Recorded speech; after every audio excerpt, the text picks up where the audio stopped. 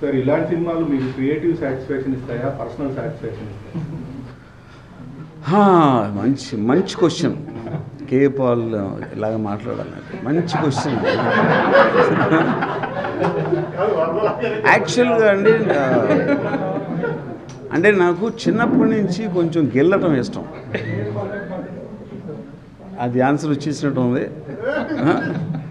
Personal satisfaction కానీ కాకపోతే any any film maker at the end of the day తను తను సొంతంగా ఫీల్ అయిన ఒక ఎక్సైట్మెంటే ఒక కథ రూపంగా ఒక సినిమా రూపంగా చెప్పాలనుకుంటాడు.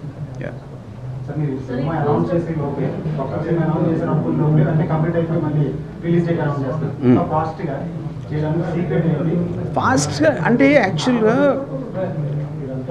ఇప్పుడు ఏ కథ అయినా అంటే ఐడియా వచ్చినప్పటి నుంచి దాని మీద ఎంత ఇది జరుగుతుంది ఎన్ని టీములు పనిచేస్తాయి అనేది నేను అంటే నేను అనౌన్స్ చేసి ఒక్కొక్కటి వస్తూ ఉంటాం కారణం కూడా ప్యారలల్గా పనిచేస్తుంటాయి వేరే వేరే టీమ్స్ సో ఏదైనా కూడా సినిమా చాలామంది అంత ఫాస్ట్గా ఎట్లా తీస్తాం అంటే నేను వేరే వాళ్ళు స్లోగా తీస్తారు కానీ నేను ఫాస్ట్గా తినని చెప్తాను.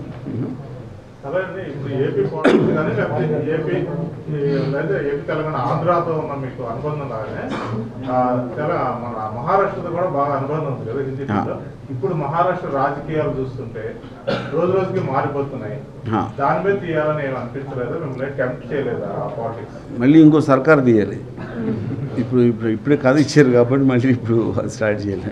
దీనికి సీక్వెల్ కూడా తీస్తా అని చెప్పారు చేస్తాను దేనికండి? దీనికి